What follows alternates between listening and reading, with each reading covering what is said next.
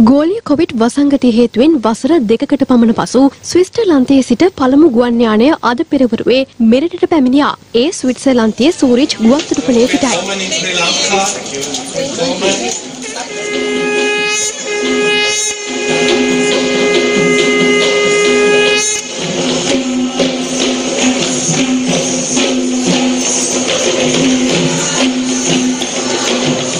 වසර දෙකකට පමණ පසු පැමිණි මෙම ගුවන් යානය මගින් 96 දෙනෙකු සිටි බවයි ගුවන්තොටුපළ කාර්යභාර නිලධාරීවරයා ප්‍රකාශ කළේ. ඔවුන් සියලු දෙනා විදේශිකයින්.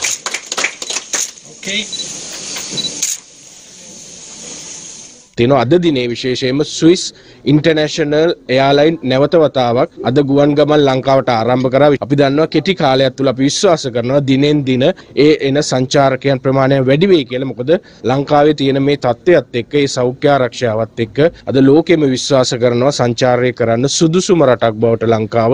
මේ අතර කැනඩාවේ පොදු ස්ථාන කරා ඇතුළු වීමේදී එන්නත් කරන සහතිකය අනිවාර්ය කර තිබෙනවා. ඒ අනුව ඒ ශ්‍රී ලංකාව තුළද ක්‍රියාත්මක කිරීමට අධ්‍යයනයක නිරත වන බවයි සෞඛ්‍ය අමාත්‍ය ආචාර්ය කිහිලි රබුක්වැල්ල මහතා ප්‍රකාශ කළේ. ඒ කැනේඩියානු මහ කොමසාරිස් ඩේවිඩ් මැකින් මහතා ඊයේ දින සෞඛ්‍ය අමාත්‍යාංශයේදී හමු වූ අවස්ථාවේදී එසේම බූස්ටර් එන්නත මෙරට ජනතාවට ලබා දීම ආරම්භ කිරීම ඉතා සාධනීය පියවරක් බවත් එය ඉදිරියේදී අනිකුත් කණ්ඩායම් වලට ලබා දෙන්නේ නම් වඩා වැදගත් වන බවයි කැනේඩියානු මහ කොමසාරිස්වරයා වැඩිදුරටත් ප්‍රකාශ කළේ. මෙම අවස්ථාවට ලෝක සෞඛ්‍ය සංවිධානයේ මෙරට නියෝජිත ආචාර්ය අලාකා සිං මහත්මියද එක්ව සිටියා. කොවිඩ් වෛරසය ආසාදනය වී සිදු වූ තවත් මරණ පහළවක් ඊයේ තහවුරු වුණා. අදාළ මරණ පෙරේදා දින සිදුව ඇති බවයි සෞඛ්‍ය සේවා අධ්‍යක්ෂ ජෙනරාල්වරයා තහවුරු කළේ. ඒ අනුව මෙරට සමස්ත කොවිඩ් මරණ සංඛ්‍යාව 13806 දක්වා ඉහළ ගොස් තිබෙනවා. කොවිඩ් වෛරසය ආසාදනය වූ නවරෝගීන් 592ක් ඊයේ වාර්තා වුණා. බැලූ බැලමට සංඛ්‍යාත්මකව ගත්තොත් මේ වෙනකොට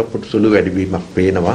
ඊට වඩා වැදගත් වෙන්නේ අඩුවීමක් නොවීමයි. මේ පිළිබඳව අවසාන තීරණයක් ගැනීමට තාම කල් වැඩි වුණත් රෝගීන්ගේ වැඩිවීම සැහැල්ලුවෙන් සලකන්න අපිට කොහෙත්ම පුළුවන්කමක් නැහැ. අපි මේ මොහොතේ වැදගත්ම දේ වන්නේ මේ රෝගීන්ගේ වැඩිවීමට දායක වන්නේ අපගේ හැසිරීමයි. අපි පැහැදිලිවම පෙනෙනවා අවසාන විකල්පය බවට පත් වෙන. එහෙම නැත්නම් අවසාන ප්‍රතිකර්මය බවට පත් වෙන්නේ ප්‍රාදේශීය වශයෙන් හෝ ජාතික වශයෙන් හෝ රට වැසීම හැරෙන්න වෙන විකල්පයක් නැති තත්වයට පහුගිය කාලේ අපි අද්දුටුවා. මේක නැවත නැවතත් ඉදෙන බවට කටයුතු කිරීමෙන් වැළකින්න අපි සියලු දෙනාම එකට හිතාගත්තේ නැත්නම් මං හිතනවා බරපතල තත්වයක් නැවතත් උද්ගත වීම වළක්වන්න බෑ. නැවතත් අපිට රට ආපස්සට යෑමේ තර්ජනය ඒ ආකාරයෙන්ම තිබෙයි කියලා මට හිතෙනවා. ඒ අනුව මෙරට සමස්ත කොවිඩ් රෝගීන්ගේ සංඛ්‍යාව සටහන් වන්නේ 543385ක් ලෙසයි.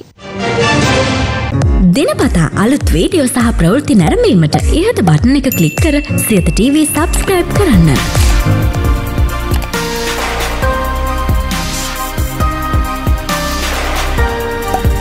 අලුත් වීඩියෝ ගැන මුලින්ම දැනගන්න මෙම සීනුව ක්ලික් කරන්න.